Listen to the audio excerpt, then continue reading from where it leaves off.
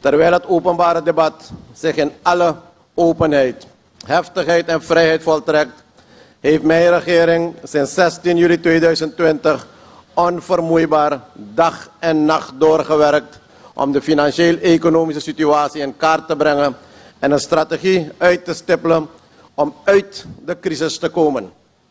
Meneer voorzitter, landgenoten, dat pad is niet makkelijk en dat pad is vol obstakels. En ik sta hier vandaag om u te zeggen dat we dat pad met succes zullen afleggen. Het volk van Suriname is een veerkrachtig volk.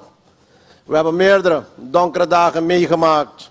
Maar wees u gerust, we komen uit deze crisis en het komt weer goed. Dat beloof ik u.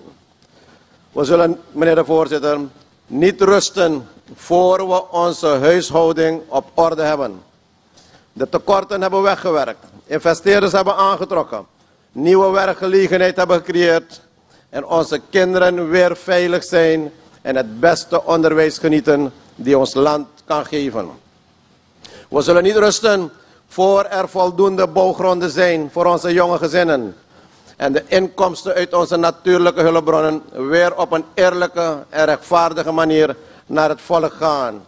We zullen niet rusten totdat de waarheid van corruptie van de afgelopen jaren onderzocht en berecht is. Meneer de voorzitter, we zullen niet rusten voor we de COVID-19-pandemie onder controle hebben.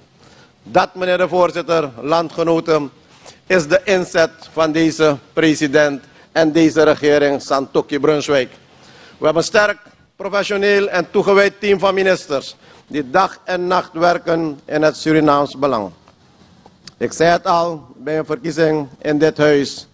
Hoe city kondreboen. Dat hebben we beloofd en dat gaan we ook doen.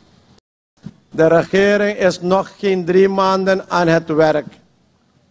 En in die korte tijd, meneer voorzitter, in die korte tijd dat mijn ministersploeg en hun teams dag en nacht hebben gewerkt, daar ben ik trots op wat er is bereikt. De weg voor ons is nog hobbelig. En onze opponenten hebben vanaf het begin duidelijk gemaakt dat ze het ons moeilijk zullen maken alle mooie woorden van constructieve oppositie ten spijt. Ze hebben onszelf een long, hot summer beloofd. En ja, het is buiten inderdaad heet.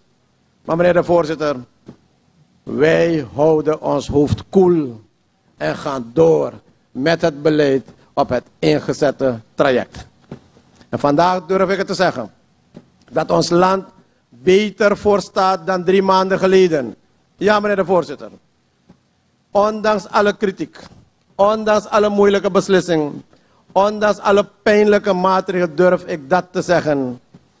Ik wijs op de effectieve wijze waarop op alle ministeries een stop is gezet aan geldsverspilling. Kopstukken in het grootste corruptieschandaal bij onze centrale bank en postbaarbank zijn opgesloten, wachten op berechting of worden binnenkort, binnenkort opgehaald. Corruptief uitgegeven gronden of verkavelingen, zoals die van Cultuurtuin, zijn stopgezet of teruggedraaid. Er vindt opschoning plaats van spookambtenaren op ministeries. Onrechtmatig gebruik van auto's. Daar is al een halt toegeroepen. Meneer voorzitter, dat zijn allemaal zaken die onderbelegd zijn door de financiële crisis. Maar ze zijn van groot belang, willen we weer recht en orde terugbrengen in ons land. We hebben salarissen, lonen en essentiële diensten op tijd kunnen betalen. Niet omdat er veel geld is. En ik benadruk dit. Niet omdat er veel geld is, maar simpelweg omdat we prudent beleid voeren.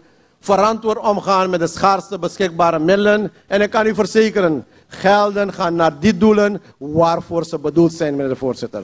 Ze komen niet terecht in zakken van individuen die daar geen recht op hebben. Daarom staan we er beter voor dan drie maanden geleden, meneer de voorzitter. Omdat we een plan hebben. We hebben een plan dat ons uit de crisis zal halen. We weten dat er licht is aan het einde van deze tunnel.